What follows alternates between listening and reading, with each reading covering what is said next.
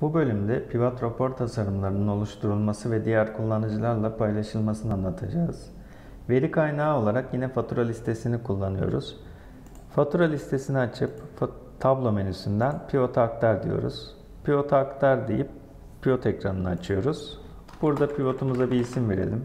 Faturalar diyelim.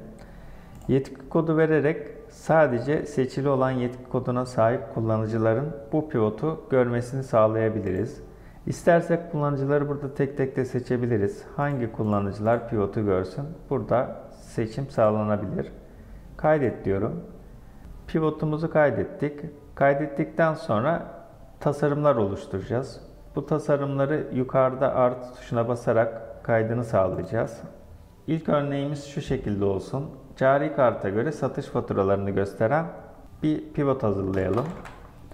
Cari kart kodunu kullanalım ve firma bilgisini, ünvanı kullanalım. Türü sadece satış faturaları olsun. Ve genel toplam bilgisini koyalım. Pivotumuzu hazırlayalım. Ünvanı biraz geniş, genişletelim.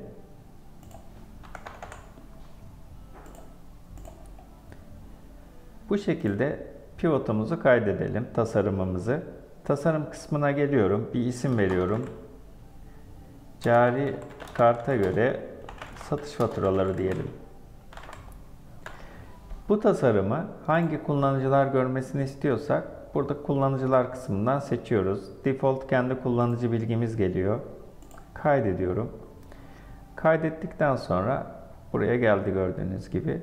Sonrasında örneğin bu tasarıma bir de genel toplam ekleyelim. Sadece altta gözüksün. Bu haliyle yani genel toplam eklenmiş haliyle tekrar aynı tasarım kaydedebilirim. Tıklıyorum. Cari karta göre satış faturaları hangi kullanıcılar? İstiyorsak buradan bir kullanıcı, diğer kullanıcıları da seçebiliriz. Seçtik, kaydediyoruz. Kaydoldu. İkinci örneğimizde farklı bir şekilde bir tasarım yapalım. Çalışma alanını temizleyelim. Örneğin tarihe göre ve satış elemanına göre toplamı gösterelim. Tabi satış faturaları olsun yine. Hangi tarihte hangi satış elemanının gün gün satışlarını gösteren bir rapor hazırladık. Da gözüksün genel toplam şu şekilde. Yine biçimlendirme kısmından bir de biçim ekleyelim. Diyelim ki F kolonu yazı rengi, yazı stili koyu olsun. Yazı rengi olarak da koyu mavi gözüksün. Şu şekilde bir tasarım yaptık. Biçimlendirme yaptık. Bunu kaydedelim. İsmi de tarih satırda satış elemanı bu şekilde hangi kullanıcılarla paylaşmak istiyorsak yazarız, kaydet deriz. Bir tasarım elde ettik. Şimdi ilk tasarıma tıkladığımda hemen ekran buna göre şekillendi gördüğünüz gibi. İkinci tasarıma tıkladığımda da ekran değişti ve e, ilgili bilgileri getirdi. Bir de fonksiyonel alan tanımlayalım. Fonksiyonel alanda da ay bilgisini koyalım. Ay adı olsun. Alanımızın adı.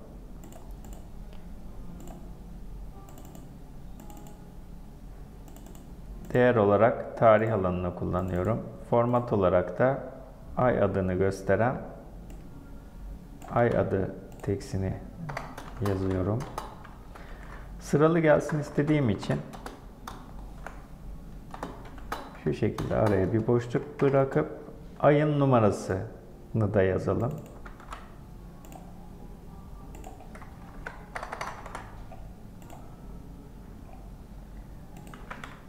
Ay adı geldi. Tarihte işimiz bitti. Kaldırıyorum.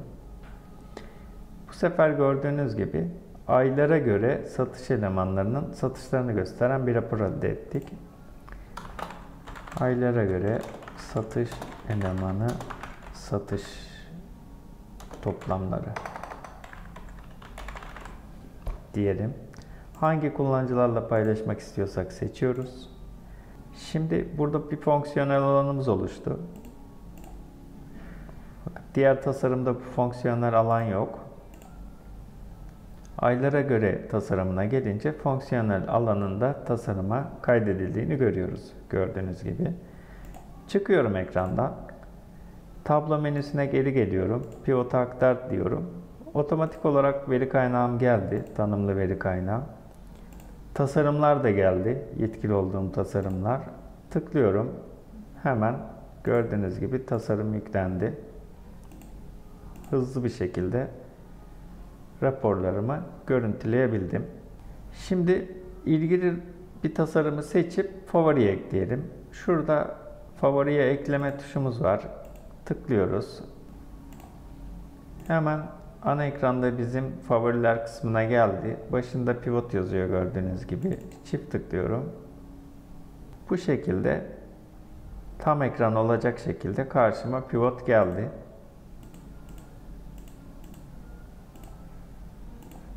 Diğer tasarımı favoriye ekleyeyim. Çıkalım. Ana ekranda aynı pivotun iki tane tasarımını favori kısmına, favori raporlar kısmına ekliyoruz. Tam ekran olarak karşımıza pivot rapor geldi.